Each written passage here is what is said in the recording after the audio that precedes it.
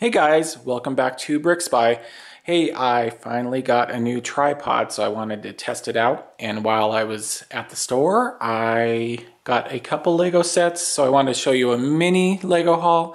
Nothing too spectacular, but I finally found a couple Marvel sets. So there we go.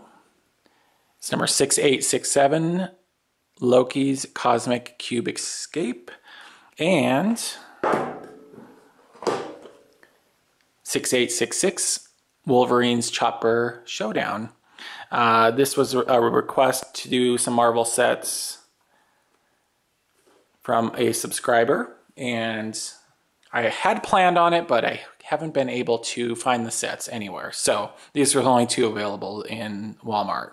So anyway, uh, stay tuned for the unboxing and the reviews on these coming up very soon. And thank you for watching BrickSpy. Make sure you rate, comment, and subscribe. And just a reminder, the 26th is coming up, and that is the giveaway drawing. So stay tuned for that. Thanks for watching BrickSpy, and have a great day.